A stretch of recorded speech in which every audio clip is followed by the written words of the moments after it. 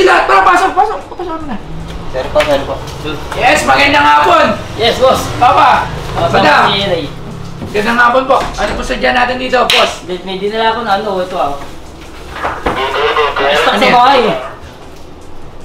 Medyo ano, medyo matagal na. Wow, tayo lang ha. Wow. 1904. 1904. $20. Gold. Gold to. Hindi, sinagulat lang kami, tinanong namin. Eh, lumalaro siya sa, sa daan, taas, so gawa ko. Eh, In-appraise sa inyo. oo, yun ang sabi. Gold to.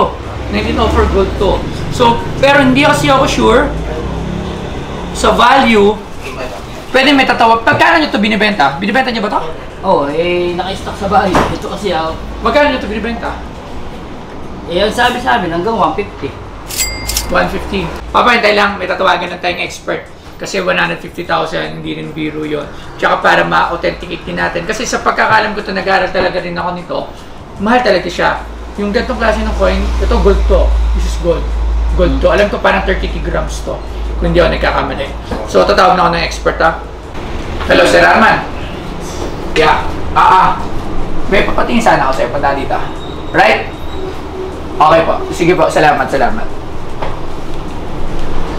Alright, so antayin naman natin yung expert papatiks ha. So yun, Sir Arman, nandito, ka- dito tayo ulit. So, nagulat ako dito. 1904, twen- ano? Ah, 20, $20. $20 gold. Gold to, tama? Mm. 150,000 daw. Mm, 150,000. Oo, kasi Check mo, ano ba? Hindi, history. Short history. Uh, dapat check muna natin. Ano tawag ba muna dyan? Uh, ano siya, uh, currency dati to nung 1900. Talagang ginagamit to. Saan? Uh, as Sa US. Purchase, Oo. oo, sa US. $20. $20 Gold siya. sir. Oo. Ilang, mm, anong karat yan? Uh, probably 0.922 karat. 22 carats. May weighing scale kayo para Weighing scale. makita. Ayan po yung weighing scale. Pakuha, bilis. Dapat, yun nga sinabi ko sa inyo yung kanina na-mention ko yun. Kasi yung mga coins na totoo, kasi marami ito nagme-make So, dapat yung timbang niya, katulad na katulad. So, same do sa original. So, ilan ba dapat ang grams ito? 33.4 grams. So, dun dapat siya. Pag tumama siya doon, 33.4 or 33.3, 33.5, legit siya. Magkano ba yung ganito? Melt value niya is uh, siguro 92,000, 93,000. Melt value. What do As you gold. melt? Sabihin, tutunawin lang siya. As gold. Eh katulad nito, anong klaseng condition to? Anong i-grade mo rito as condition ng coins na to? Ito, probably nasa high XF siya. High SF, what do you mean by high SF? Um, extra fine yung condition niya. Extra fine. Oo. Extra fine, meron pa rin siyang peripheral luster. Nakikita sa coins. Nakikita niyo yung parang shininess effect pag sinwirl Saan mo mo. ba ito nakuha? napasama to doon sa gamit na binigay sa akin ni Lola. eh. Swerte mama. Yan. Magkano value nito?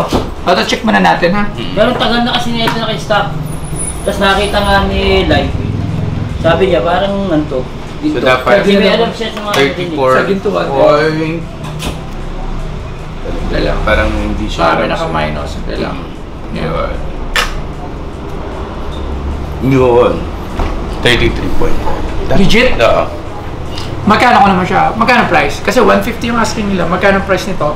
Uh, Siyempre nga pala ako nga pala, siyempre si Pinoy Poster, Bustoyo, dito ako ngayon pero siyempre paalala sa inyong produkto namin, ang Mr. Pini Peanut Butter, ang peanut butter ng mga sikat. Hindi lang kasi dahil masarap to at malinamnam. Talaga namang ito talaga yung hinahanap ng mga sikat na mga ah, mga aking mga kaibigan dahil napakasarap nito. So open for reseller at distributor to. PM lang kayo sa Mr. Pini Peanut Butter. Yes, maraming salamat. Keng keng. Uh, sa coin group, usually, binibenta yan ng 105, 120. Pero yung ganyan kondisyon, 120,000. Siyempre, kailangan ko kumita pag Hintay mo na bago tayo magtawaran. Maraming salamat, Sir Arman. Thank you. You're the best. Thank you. Thank you, thank you, sir. Thank you ulit. 150? Ayun kasi ang 100,000. Pwede? Laki naman. Laki agad ng ano ko. 3-4 agad ng bawas. Hanggang magkano? 130. 110. 110. Sa lubong, 120. Sige, 120 deal. 120. Empoy, 120,000 po pera. Alright, 120. Akin na to. Gold dollar coin, 120,000 pesos! Giling, no? Nasama Galing. siya sa ano, yung, di ba may mga ano kayo, may mga coin na mga luma. Hmm. Tapos kasama yan. Pero ito, nakabukod siya sa isang, ano, isang plastic siya. Nakabukod talaga Nakabukod siya. siya. Tapos binigay siya sa akin eh. So far, ito yung pinaka mahal na item ko ata dito. 120. Hindi, meron din ako yung 100,000. Pero sa coins, ito yung pinakamahal na coins kong hawak. 120,000. Grabe. Ang galing no. Kaya pala pin- pinatingnan namin. Kasi pinakita ko kay Eli. Sabi niya, parang ano kakaiba. Sabi ba, ko ginto to eh. Tapos pinatingnan namin. Kasi yun nga mga halaga sa taytay namin pinatingnan niya. 120,000.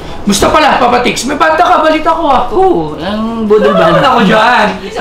Ikaw! Sama ako dyan. May mga gig-gig mo dyan. Oo. Kutsa, kantayin natin yung acoustic. Patikim ng pepe. Pwede ano? Oo, Na, nabanggit ko na yun, nabanggit ko na yun. Ah, sabi ng mga banda sabi, mo. oh, pwede naman kasi mga resto naman yung ano eh. Ay, kulat, sabihan mo lang ako. Bababahin kita doon. Sabihin Oo, pwede. Ko, sabihan mo, bababa ako doon. Sinabi ko sa banda, sabi ko. Kantahan natin yung puta na, makulit yun. Pag ginawa natin Oh, yun. tapos eh, meron, meron pa nga ano, may, may ma, pwede siya makasamang kanta eh. Yung gusto ko siyang kunin yung kasi hindi ako nag-compose nito eh. Si Tito Jojo eh. Kaya lang siya, yung kantang niyan, parang kagaya sa Kain Pepe. Pero hindi na siya, hindi na niya makakanta kasi siya taga-church na siya eh. Ah, pwede kantahin natin. Yun nga, eh, yung pinagpapaalam ko sa kanya, eh, kaso mabigat, sinire-pression ako. Pero maganda naman yung kanta. Yung, kanta- Ay, gawa na tayo kanta natin. Kaya nga, pero gusto ko siyang i-revive. Oo. Total, para ano lang. Pero gusto ko rin ilabas eh. Yun ang gusto ko ngayon. Ano title niya kasi yung ano yung Count to Ten.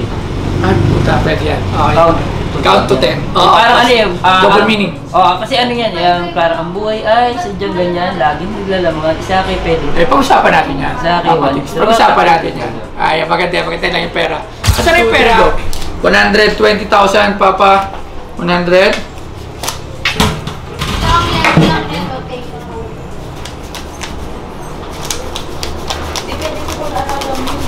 Hindi, ano, 1 120,000. Maraming maraming salamat. Bilahin ko. Tama yan, tama. Sige, pwede. Sige, sige, sige. Sige, Sige, sige, sige. Magbibila pa ako ng 120, di okay na to. Kaya lang sandali lang, ah, Paps, ano, meron lang akong bibenta sa'yo. Na ano, tabi ko. Kasi ano, na, nabalitaan ko to, itong shop mo, ah, bumibili ka ng kagaya niyan, mga old, mga hi- may history. Ewan ko lang kung papasa sa'yo to ah. Meron ka pa ibigay Kasi meron ako, ano siya, ah, tawagin natin, siyempre simple lang, pero clothing line siya. Clothing line. Anong pero clothing hindi line naman yan? talaga ako nagko-clothing. Sige, tingnan natin yan. Medyo, ano na, medyo, nalaban naman to. Lalaban yan. oh, yan. Ang pogi ko. Ang pogi ko shirt. Ah! Ito ang history naman nito. Ito yung unang-unang clothing na ano na sinuot ko. Sinuot mo. Na sa akin talaga siya, na talagang dapat magko-clothing line ako eh. Lang ang pogi ko. Oo. Saan mo siya sinuot? Ito yung sinuot ko sa Itbulaga, Piling Pogi, na nanalo ako. Ito yun. Ah, lala! Winner ka sa Piling Pogi. Oo, Piling Pogi, Grand champion? first runner up ako. Ah, first runner Yan. up. Sa Yan, picture, may picture ka ba niyan? Ah, nasa YouTube niya yung video niya. Yan yung Pwede- mo. Oo, ito yung suot ko. Hmm, ang pogi ko. Mhm. Magkano mo naman yung binibenta? Siyempre, dahil sa history to, ikaw magpe-presyo nito, hindi ako. Ah, para sa Ano? tattoo mo! Ayan, tingnan mo. Yan. Ah. Kaya ang buhok ko, ganito. One side. Oh, kaya kahit nakapag-dreadlocks ako, ito na siya kasi ito na yung character ko. So itong shirt na to, dito yung unang-unang plano ko magpagawa na magbenta ng clothing line.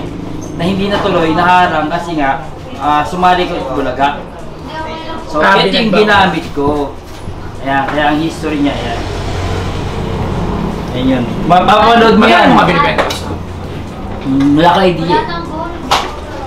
Kasi yung gusto ko lang, ah, pa, ah, Ma-preserve. Yes. Kung gaano kahalaga sa'yo, itong history na to. Magkano mo ba ito binibenta?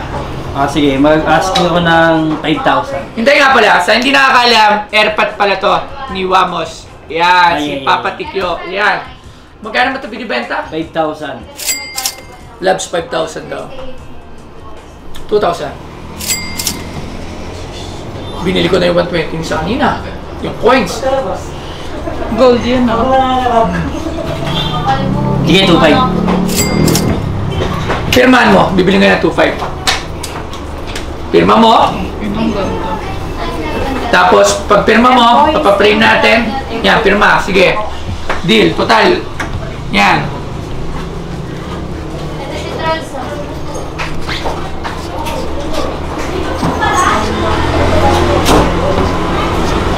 Alright. 2,500. Maraming maraming salamat, Papa Tix. Ito lang. May 500 ka dyan? Wala. May pibalit ka. Wala. 2,000 na lang kasi. Ibigay mo na 2,000 to.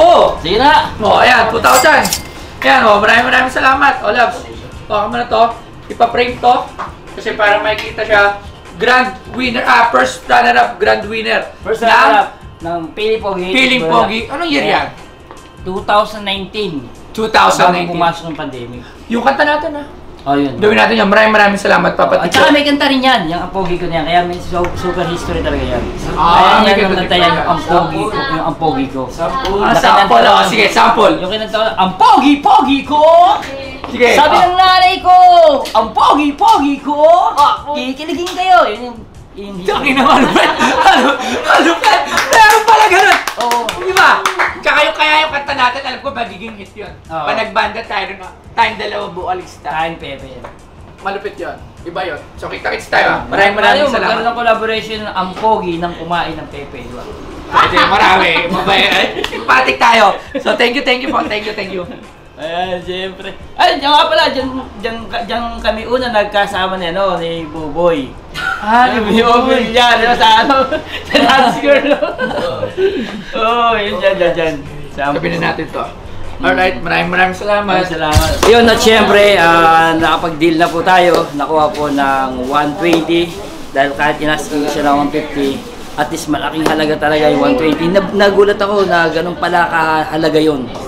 So grabe, ngayon lang ako nakakita ng ganong mm, coin na ang halaga 120. Kaya di na, mga, sa mga may ano dyan, sa may mga value dyan, na mga old na mga gamit, dalhin nyo rito. Ah, ano, dito sa Pinoy Phone Star. Dalhin nyo lang dito, pipresyohan yan. Promise.